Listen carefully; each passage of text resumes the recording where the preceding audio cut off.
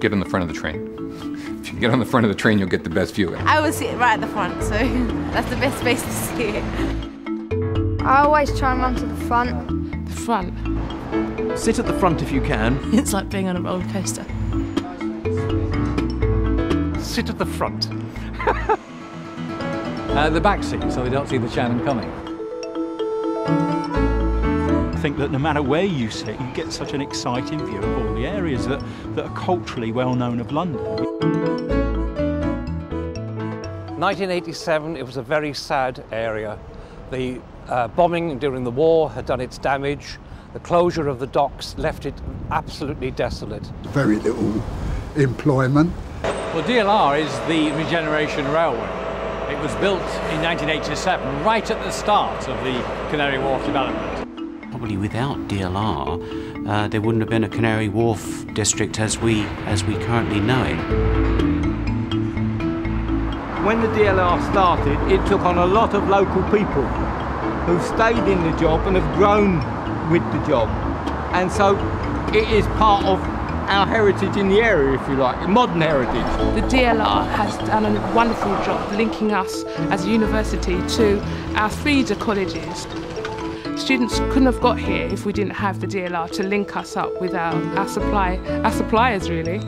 If there wasn't a DLR extension out this way, we wouldn't have had this new school built. We'd still be in the old, in the old Victorian building with its leaky pipes and its dripping roof. Where my nan lives, it's got it improves the transport and it also helps the area to just live really. I totally rely upon the hospital. Well, I can get there in just under the hour. That's walking in the door. The DLR obviously are, are, are the lifeblood of the development in this area of London. It's good. It's what London needed. I almost don't need the car now because of the, the network here is just fantastic.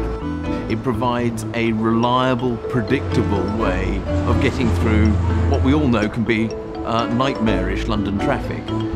We've estimated that about half our passengers travel to or from the airport uh, on the DLR. Groundbreaking in getting mobility for people like myself. It means that I have an independence that I didn't have before. They've got a very good system on the DLR of having a point where you can get help on every station, so you feel safe on the system as well. Serco, they've consistently done a good job. It's a very people-friendly, uh, people-friendly local railway, and I think that's very, you know, very positive. And, and people feel like they own it in some ways and, and feel good about using it. There's a feeling of a city coming to life. There's lots of new apartments. All the um, employers in the area are going, getting linked up by stops on the DLR. You've got both the Olympics and Paralympic Games. You've got Stratford City. It is a vibrant, exciting area to be. I just think that the DLR is helping that feeling of, of regeneration, of um, there's a future for this part of London. I think that's absolutely fantastic.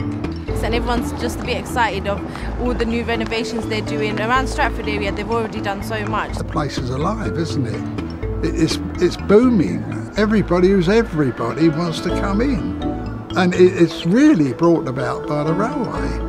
I think everybody at Drew would like to thank the DLR for, for their new space. It will be so much better than anything we had before. It will put Woolwich on the map. It's going to be a very exciting period. It's not something that they've kept on their laurels. They're always looking at ways of trying to improve it.